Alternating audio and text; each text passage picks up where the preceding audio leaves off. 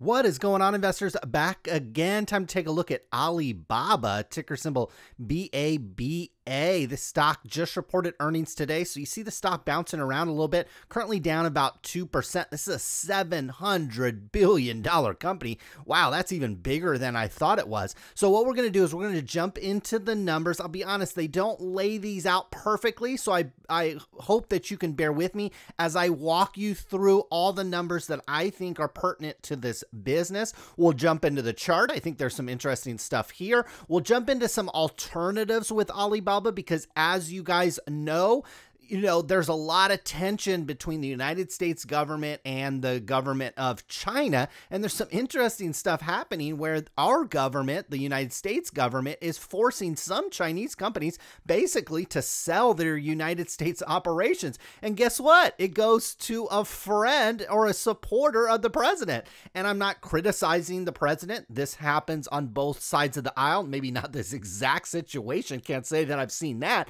But political kickbacks and things like that happen in Washington, D.C. I would just want you guys to know I'm not criticizing or praising this type of deal. The reality is, this is what we have to deal with, especially with Chinese owned companies. And if that continues, if this sort of thing continues, well, guess what? You might want to expose yourself a little bit different to Alibaba, and we'll talk about that here in a second. So, stock's been on a monster move like most stocks, but down a little bit today. So, maybe there's a buying opportunity. Let's jump into the numbers.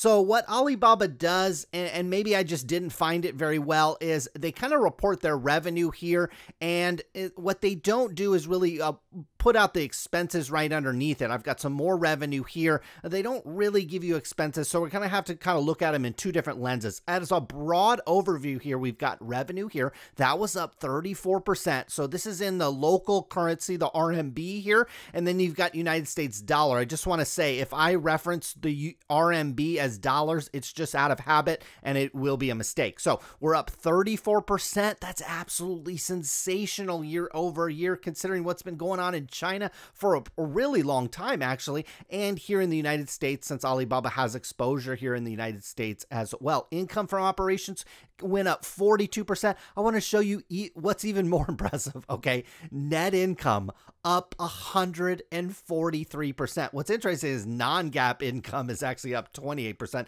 So there's some accounting uh, irregularities in here, but look at that. We're growing our top line, we're growing our bottom line. This is absolutely phenomenal. Let's jump in to see what's working for Alibaba. So they've got this core commerce business. So they've got customer management, they've got commission, and then they've got others here. I like how they add the S there. Maybe they just uh, convert these right from the Chinese language. So we've got uh, you know percentage of revenue here, but then we uh, what I would focus on is here is uh, the year over year change. So uh, customer management, we're up 23%. Take a look at this growth. We go from three months here, 19 to 20. Commissions are up 17%. The other is up 80%, and you can come down here and kind of take a look at what other is. It's this Tmall supermarket, this Freshippo, and the direct import and Intime. So I'm not going to pretend that I know all this, but some of this looks maybe grocery related, which would make sense on this, uh, you know, this big, big uptick on the year over year change. So the Chinese commerce wholesale here, again, we're seeing strong demand for all their products across the board. And then finally, we get down to cloud computing. That is growing at uh, almost as fast as this other category, but it's much larger, at least from a profit perspective as well.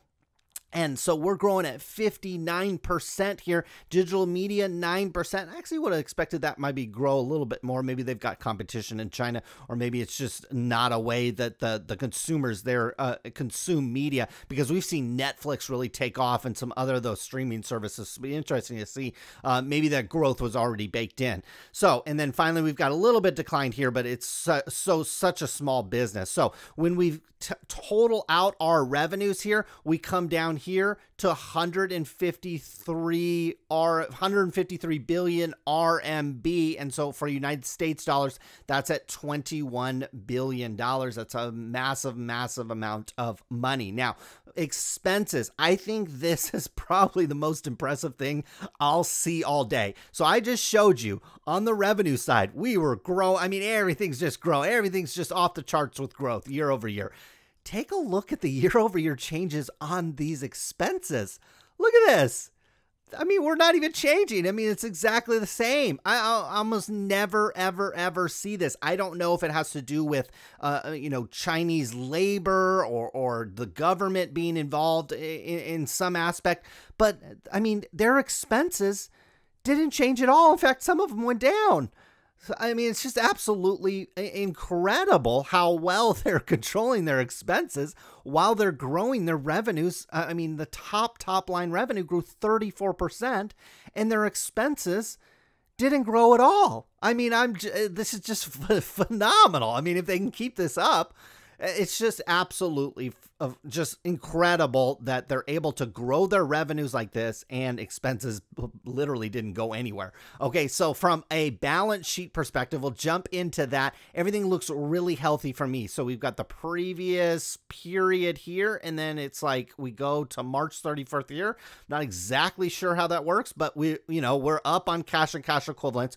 In terms of United States dollars, it looks like we've got about $53 billion in cash. Here it is in the low local currency as well. So, total assets wise, we've got 193 billion dollars. That's a lot, okay? And but when we come down here to the liability side, let's just take a look at what we've got. So we've got non-current bank borrowing, so that's a little bit of debt, just a tiny amount of debt. We've got some senior notes here. Everything else looks, you know, pretty standard in terms of running a business. We've got current bank uh, uh borrowings here at a very, very small amount of money in general, we've we've got total liabilities here of sixty-two billion dollars, and again, this is a company with over fifty-three billion dollars in cash and uh, close to seventy billion dollars worth of total assets, current assets, total current assets. This is a company from a balance sheet perspective looks as crystal clean as it possibly can get. From an operational perspective, is uh, I, I don't know if I've ever seen this, at least in, in recent memory.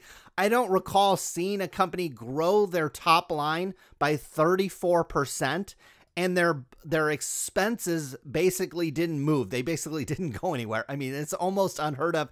It's absolutely phenomenal. Alibaba is, I think, firing all cylinders is an understatement for this company. Now, from a stock chart perspective, we've been in an uptrend. Okay, this stock, you know, like a lot of stocks made a low down here at 170 back in March, and it's been on a pretty, you know, fast ride upwards here. Now, what I see is here is now we're we're we're kind of stuck in this channel here. And um, you know, whether the, typically what happens is when stocks get in a channel like this, they want to go one way or another. Okay. They want to either break up or they want to come back down a little bit. Now, I, I think the, the spot that I see right off the top of my head, which would be a really interesting spot, is if it broke down. Alibaba. It's not too far underneath this channel, but the 230 range would be interesting. Okay, now it would break trend and it could bring the stock down even further. That is possible. Obviously, if you have some uh, geopolitical risk here in the United States, you know, these types of things could push this stock down even further. If, if for example, the whatever administration said, well, we're not going to allow Alibaba to do business here in the United States, well, that would definitely impact their business, I think. Not to a, a hundred percent degree since they have uh, large exposures to, to China as well, but it could provide some more selling pressure. I think you get down here in the 190s. I certainly would be really excited to come down here, even the 17. I mean, yeah, if we retest these lows, obviously we're all dreaming about uh, getting opportunity to to buy stocks at the March lows that they made. 170, I think, would be your ultimate bottom point. That's why this 190 ish point looks really nice to me because your downside's 170, your upside's probably all the way back up into the 260s, 270s. That the risk reward on this would have me going big time on shares. Now, I think more realistically, if this stock breaks down from this trend, you're probably into this 230 range. It might hit this support line here somewhere in this 230, 240 range, and then have that act as some support. It might pop back up. Now, if this stock wants to come back to the top of the range, 267, if it breaks this 270, this stock's probably going to make new highs and kind of trend upward. What it takes for it to do that, I'm not 100% sure. It probably a little bit political, a little bit operational as well. I don't know how you get much better than what they did here. Growing these numbers and then keeping expenses in complete and utter control. I don't know how it gets any better than that for Alibaba. Now, so maybe you want to buy Alibaba, maybe you want exposure to Alibaba. One way to do it without buying directly into Alibaba, again, there is some political risk. I don't think it matters what party is in power here in the United States.